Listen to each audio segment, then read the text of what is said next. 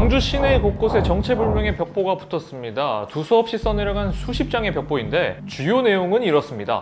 자신의 엄마가 화순의 한 병원에서 생체칩 실험을 당하고 있다. 여기에 경찰도 가담하고 있으니 도와달라. 더 천천히 살펴보면 해당 병원의 정보는 물론 생체칩 실험을 당했다는 어머니의 집 주소, 사건에 가담했다는 경찰의 신상도 낱낱이 적혀 있는데요. 먼저 벽보에 적힌 화순의 집으로 찾아가 봤습니다.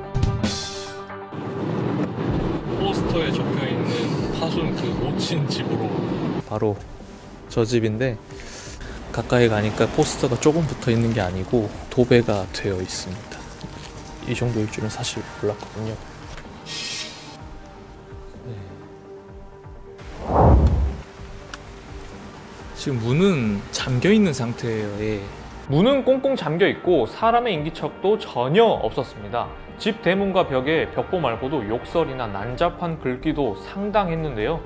대부분 가족을 욕하는 글이었습니다. 비 오는 날 이후로 지금 두 번째 찾아왔는데요. 오늘은 계실지 한번 그때는 비가 와서 잘 몰랐는데 날이 밝으니까 좀 더 많이 보이는 것 같아요. 반응은 없으시고 일단은 저희가 두 번째 방문했는데 오늘도 안 계시는 것 같아요. 이곳에 정말 사람이 살고 있는가? 저희는 다른 방법을 찾아봐야만 했습니다. 거주민의 정보를 파악하고 있는 화순 읍사무소로 향했습니다. 근데 안에 지금 거주하고 계시는지도 일단 궁금하기도 하고 저희가 몇 번 찾아갔는데 안 계시더라고요.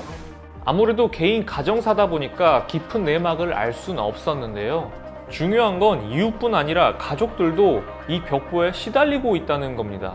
벽보에 적힌 집 주소는 빈집이 된 지 오래고요. 이 집에 딸이 셋이 있는데 그중 막내딸이 벽보를 써붙이고 다닌다고 합니다. 들은 바에 따르면 어머니도 좀 힘들어 하셔서 가족들이 어머니와 막내딸을 분리시켜 놓은 상태라고 합니다. 이번엔 벽보의 내용 중 생체칩 실험을 했다는 화순의 모 병원의 입장을 한번 들어봤습니다.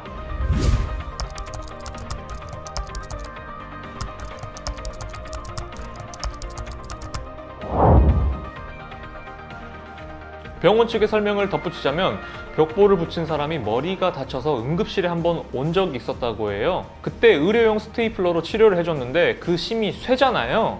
그게 머리에 박히니까 생체칩 실험을 당했다고 주장을 하는 거죠. 벽보에 경찰도 가담했다고 적혀 있는데 해당 사건을 담당한 경찰은 이 사건을 어떻게 보고 있을까요? 수사과 쪽에서 알라나? 잠깐만요. 수사과를 한 번에.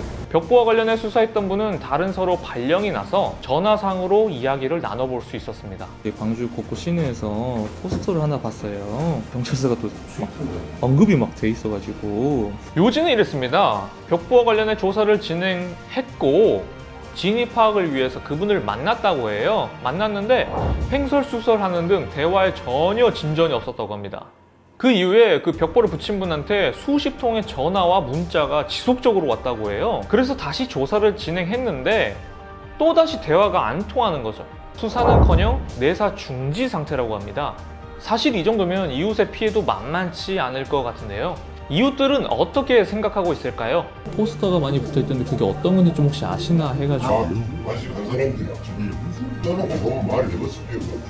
저게 언제부터 붙어 있는지 혹시 아시나요? 작년부터. 작년부터요? 저걸 이제 또 얘기들이 막 인터넷에 올린 거 없어. 아이고 나 미치겠어 정말로. 한지 않았어. 지금 동네가 피해가 엄청나게 많지.